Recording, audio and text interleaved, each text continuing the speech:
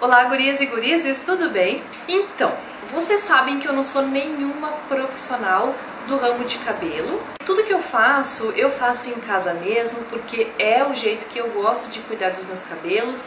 E aí, de repente, eu possa, enfim, fazer alguma coisa que para algumas pessoas não esteja certo, ou as pessoas, enfim, fariam de uma outra maneira. Eu comecei a descolorir o meu cabelo em casa mesmo tem algum tempo já. E assim, eu faço descoloração com água oxigenada e pó descolorante mesmo. Eu posso até fazer um vídeo um dia, mas eu peguei na internet, né, no YouTube da vida, como as gurias fazem e aí eu vou fazendo no meu cabelo. Até agora eu tô apenas é, descolorindo e tratando o meu fio para que ele não fique fragilizado. E ele nunca ficou elástico, é, emborrachado, enfim, nunca ficou fino demais.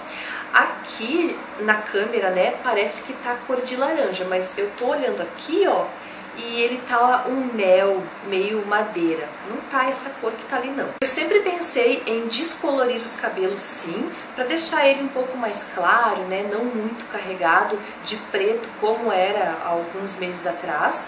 Só que eu sempre cuidei muito da saúde do fio, porque eu não quero aquele fio elástico e aí fica complicado, eu tenho que estar tá cortando, cortando e ele nunca se recupera. De uma, duas vezes por mês eu faço uma leve descoloração, porque realmente eu estou fazendo aos poucos. E sempre quando eu faço a descoloração, né, logo após eu uso um produtinho para tratar o cabelo, que também teremos vídeo sobre ele. Uma vez por semana eu uso o kit Tense Repair, que é o que eu quero mostrar para vocês aqui no vídeo. E gente, ele está segurando muito o meu cabelo.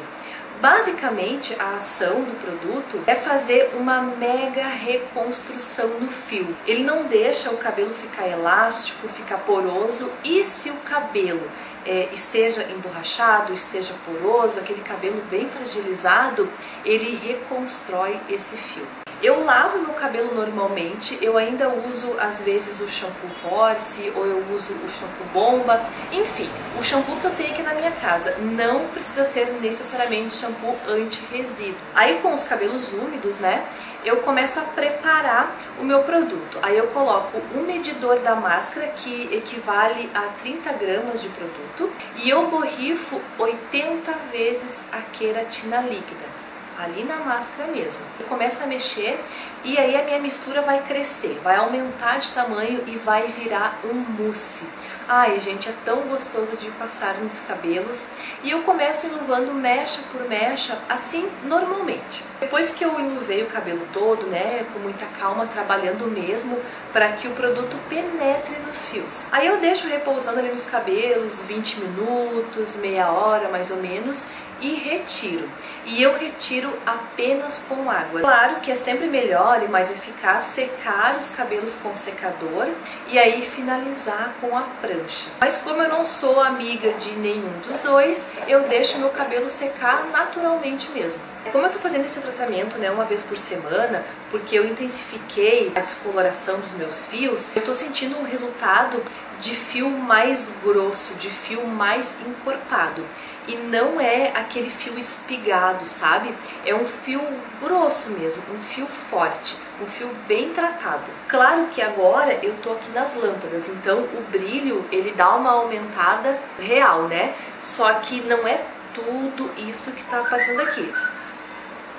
Só que não é tudo isso que aparece aqui. Ele tá brilhosão sim, não posso negar.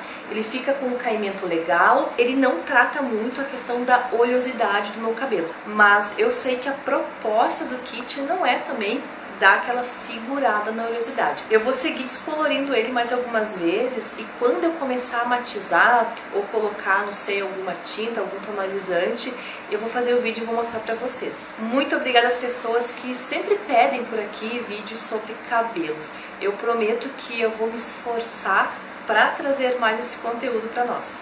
Muito obrigada pela companhia, um beijo para vocês e até o próximo vídeo.